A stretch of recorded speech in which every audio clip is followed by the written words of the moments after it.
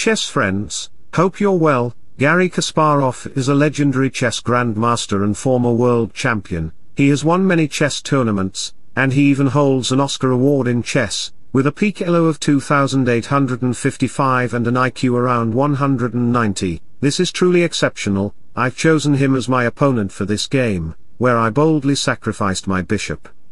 Let's dive into the excitement, our legend started the game with e4, we have the French defense, here white can push his e5 pawn, let me show you the variation, c5 c3 knight c6 queen goes out to b6 to create pressure to the United States and London, knight here knight h6 to go f5, attacking to the state of the kingdom, bishop d3 protects it, here you may think of capturing the d-pawn, but that's not a good idea because you know, water has many colors but water itself is colorless. You may win the pawn but you will lose the queen by with d5 discover check, so back to the position, play bishop b7 first to attack to the pawn and protect that square, bishop runs rook comes and if white plays castle he will fall in our top, play some boxing matches in center, sacrifice your knight, queen takes knight will lead into a breakup story between the king and queen, so after knight takes d4 bishop c5, bishop e3 is the only move to protect that knight. But you will face mathematical problem in b2 square, knight d2 captured captured captured, bishop e4, our opening trap has not over yet, no matter where the rook will go white will be dead lost, bishop e2, attacking to the monkeys, so take take rook f1 queen takes pawn, the bishop is under attack so bishop d3 queen a6 and that's it, black is completely winning the game because he have two rooks and pass pawns, you know chess is beautiful when you win a game, no matter how many blunders you make. Garry played d2, c5 knight here and after some sequences of moves later we have queen b6 c takes d4, capturing the pawn with the pawn will cause some headache for the knight and the center, friends, I've set a like goal of 1000 likes for this video, I know it's a big goal but I believe in you, please help me reach my like goal, in this position we have knight takes d4, sacrificing the pawn away, it's not a bad choice for him because Kasparov is a grandmaster, not a ordinary player like Ben 10 or Goku. He just want to develop his bishop, castle bishop out bishop f6 to slap the pawn,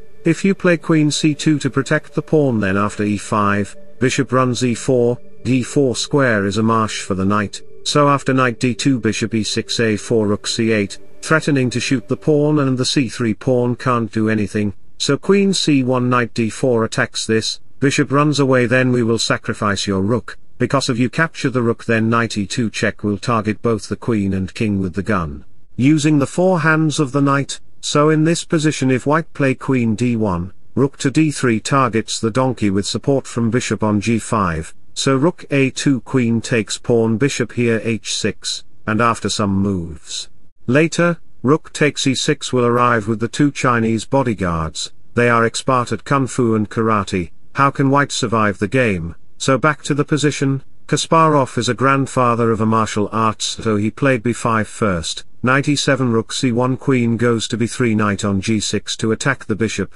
bishop d2 e5 and after three moves later, if white dares to play any 1600 elo move, his center will caught fire, bishop c1 e4, the knight buddy has no square to run, so knight d2 d3, look at my Russian army. With B-26 aeroplane and missile tanks, Position will be devastated for white so in this position, Garry play h3, chess needs patience, right pieces combination and defensive moves to balance the game, if you are playing against a human or a weaker bot than you then you may balance your game, but I am Stockfish, more intelligent than 100 superbots and genius people, I sacrificed my bishop on h3, because if you capture it then after check, King h1 will lead knight takes f2 king and rook fork so if you play king f1 then congratulation you will be checkmated in just two moves, the sun never rise in west, river never flows at outer space and there is no way to stop checkmate, so here if you play king g2, knight f4 check king g1 a4,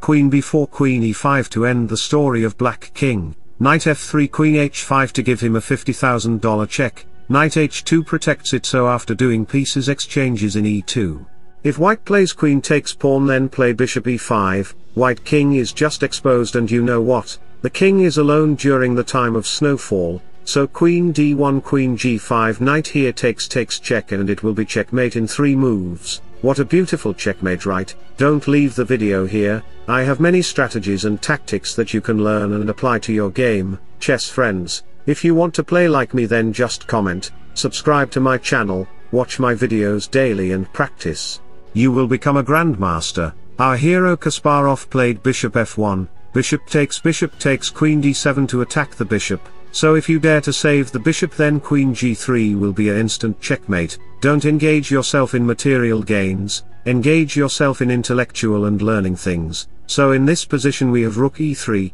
queen takes a7 and Garry said, Stockfish you are not only one who is the boss, I can fork your pieces, yes Kasparov you are right, but you know what? An ant can kill an elephant if it enters the ear of the elephant, bishop e6, getting this diagonal and if you play any normal looking move, let's say rook f1 then after queen e7, threatening a queen check, so rook blocks on g3, rook c4 queen c2 queen h4, attacking your best friend because your idiot pawn is drunk, king ups bishop c7, threatening knight takes h3 to destroy white's kingside, rook here knight captured and after a while, we will play queen f6. Knight d3 is coming to attack the pawn with the bishop support, king here bishop e6 rook h3 rook a4 to checkmate in one move, so he has to capture the rook. Knight takes rook to checkmate him, king e1 queen check knight takes check and it will be a checkmate in 3 to 4 moves. White is getting old and destroyed by queen f2,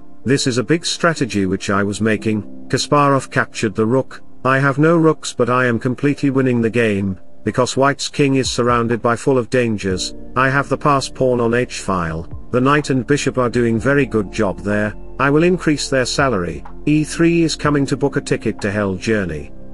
Rook takes d5, capturing the rook isn't good because after queen takes knight, everything might be fine for white position, so h4 rook g5 e3, if you capture the pawn, let me show you the variation, king f1 queen check, king e1 queen a1 rook g1 and queen takes rook called seesaw checkmate, Kasparov moved around 360 degrees and played, rook f5, pawn takes check. King here queen e6 to checkmate white, queen d5 isn't possible because after knight takes rook, takes queen check, and after some moves later. We will arrange to play queen g2, threatening to marry with an another queen, so queen f1 queen takes rook, I hope you can checkmate white from this position, so back to the position we have rook d8 check, take take knight takes queen, I have bishop and knight for the rook, but I have big Russian army and I am completely winning the game, this was an amazing game with Garry Kasparov, may he live more than 100 years, he made one mistake in the opening by sacrificing his pawn.